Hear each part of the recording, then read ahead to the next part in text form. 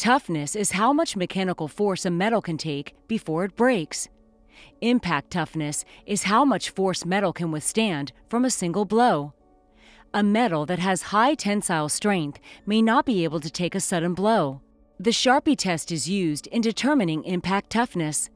In the Charpy test, a notch sample of metal is struck with a single blow. The notch will create additional stress throughout the metal. Impact strength is measured by how much energy the metal can take before breaking from a single blow.